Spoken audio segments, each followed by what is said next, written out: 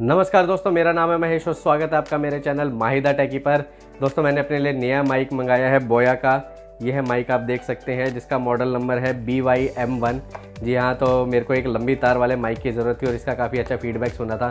तो मैंने कहा, क्यों ना जिसकी अनबॉक्सिंग करते हो सब दर्शकों को बताते हैं कि ये माइक कैसा है यूज़ करने में क्या क्या इसकी स्पेसिफिकेशन है बॉक्स के अंदर आपको क्या क्या मिल रहा है और आवाज़ भी कैसी है।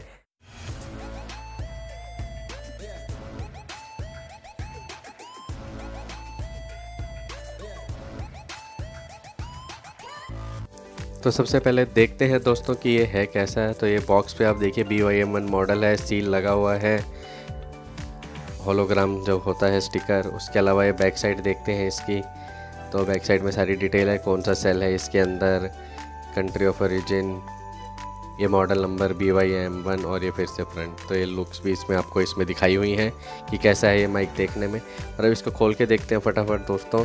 ये डब्बा थोड़ा पहले से ही फटा हुआ आया था तो मुझे थोड़ा डाउट हो गया है कि पता नहीं कैसा निकलेगा। और ये पाउच तो काफ़ी अच्छा लग रहा है इसका, काफ़ी कम्फर्टेबल सा। लेकिन हम इस हिसाब से तय कर पाएँगे माइक को या नहीं। सारा इस पर डिपेंड करता है। और उसके बाद ये देखते हैं तो ये माइक है काफ़ी सुंदर सा।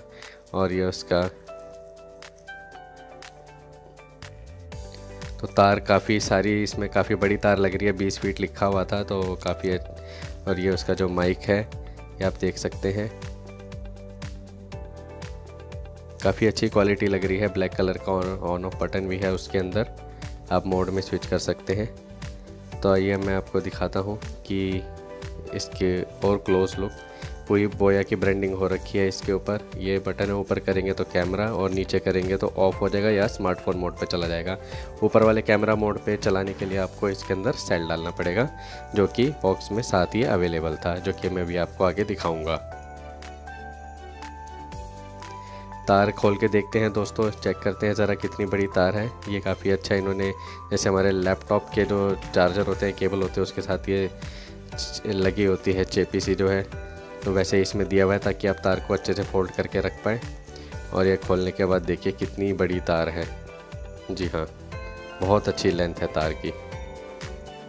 माइक भी हमें देखने को मिल रहा है, काफ़ी छोटा सा माइक है तो अभी इस पर जो फॉर्म वगैरह क्लिप वगैरह लगाएँगे तो ये बड़ा हो जाएगा, थोड़ा सा देखने में डिसेंट लगेगा। अभी भी अच्छा है, ज़्यादा बड़ा चौड़ा माइक नहीं है, छोटा माइक है, और ये देखिए तार इसकी कितनी लंबी है। काफ़ी सारे फोल्ड हो रखे हैं इसके अंदर, और ये इसका 3.5 पॉइंट mm का जैक है। तो आइए अब आपको अदर एक्सेसरीज दिखाते हैं जो पाउच के अंदर रखी हुई हैं। इसको ओपन करके देखते हैं फटाफट से। तो इसके अंदर ये जो है ये फॉर्म है, जो कि आप माइक के ऊपर लगाएँगे। इससे माइक ख़राब होने से भी बचेगा प्लस जो एयर जो हवा की आवाज़ होती है, उसको भी ये रोकने में मदद करता है। फिट हो गया अच्छे से, काफ़ी कंफर्टेबल है। उसके बाद हम बात करते हैं यहाँ पे। तो ये जो दूसरा ऑडियो जैक है। और यहाँ पे जो बटन सेल मिला हुआ है एल आर आर फोर और उसके साथ यहाँ पे जो क्लिप है। पहले तो दोस्तों मुझे नज़र ही नहीं आया था कि ये सामान अंदर रखा है, मेरे को लगा बस माइक ही है, मैंने पाउच खोल के ही नहीं देखा था। और मैं हैरान था कि कंपनी ने इतना सब कुछ लिखा है, पर दिया क्यों नहीं, पर सब कुछ अंदर ही था पाउच के। और ये इसको क्लिप को आप ऐसे माइक के साथ आप अटैच कर सकते हैं अपने हिसाब से। आपको दूसरी डायरेक्शन में करना है तो दूसरी डायरेक्शन में अटैच कर सकते हैं। वैसे तो ये क्लिप चारों तरफ़ घूम जाता है। और ये दोस्तों मेरा पुराना माइक था, दो ढाई सौ रुपये में मैंने माइक ख़रीदा था। अभी तक मैं नब्बे वीडियोज़ इससे शूट कर चुका हूँ और मेरा एक भक्ति का चैनल अलग है, उसके अलग वीडियोज़ हैं।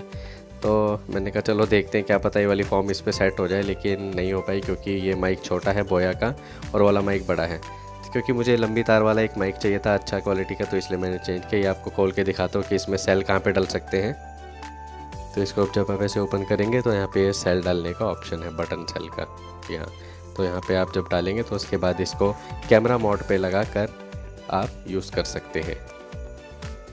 दोस्तों, ये जो वीडियो अब जो मैं शूट कर रहा हूँ, ये बोया के माइक से ही शूट कर रहा हूँ टेस्टिंग के लिए, ताकि आपको आवाज़ पता चल जाएगी कैसी आ रही है। साथ ही साथ मुझे भी पता चल जाएगी इसकी आवाज़ कैसी है फीडबैक तो काफ़ी अच्छा सुना है इसका।